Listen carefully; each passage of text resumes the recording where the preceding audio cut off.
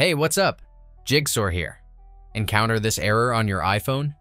In this video, I will walk you through several effective troubleshooting steps to help you resolve this error and regain access to your Apple ID.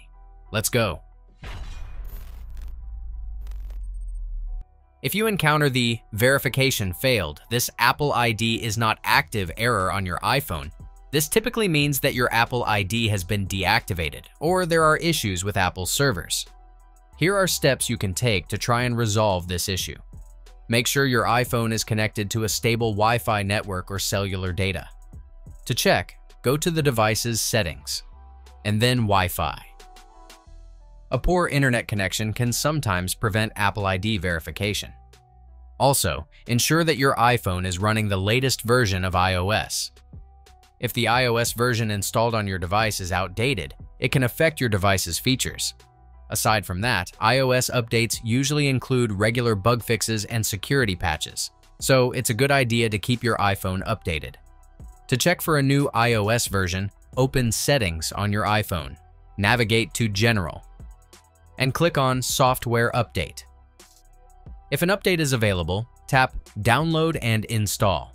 Follow the on-screen instructions to complete the process. Afterwards, your iPhone should restart automatically with the new iOS version installed. Keep in mind that you need enough storage space left and a stable Wi-Fi connection to successfully install an iOS update. Also bear in mind that some older iPhone models are not able to install the latest software updates. To check if your device is compatible, click the tag in the upper right corner. A simple restart can sometimes resolve temporary glitches.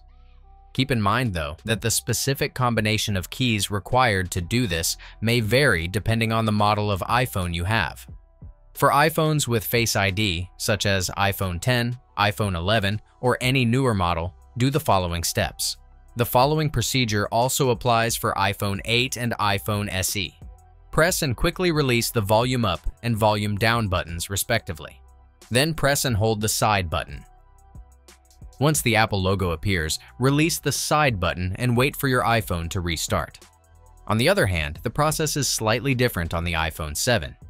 In this case, you need to press and hold both the volume down and side buttons simultaneously.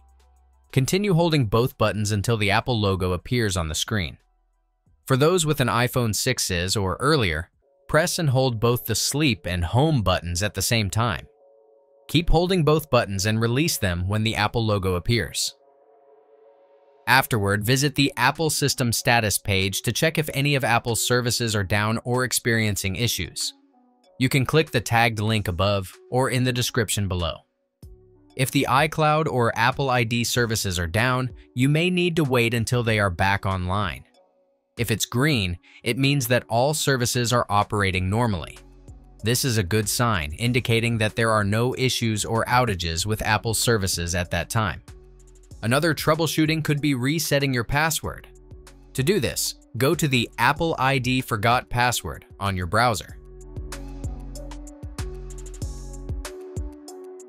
Click on the Reset Password button and follow the instructions. After resetting your password, try signing in again on your iPhone. If possible, try logging into your Apple ID from another Apple device, like a Mac or iPad, to see if the problem persists. If the above steps don't work, your Apple ID might be deactivated or blocked by Apple for security reasons. This will be your best resource for further troubleshooting and resolution. To contact them online, Open your browser and visit supportapple.com on your iPhone or computer.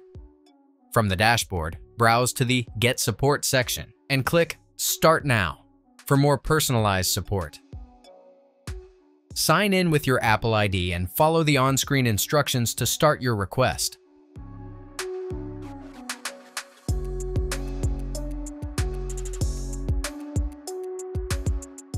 That's it. If I could help you, feel free to give this video a thumbs up and don't forget to subscribe. Leave a comment down below if you have any questions. See you next time. Bye.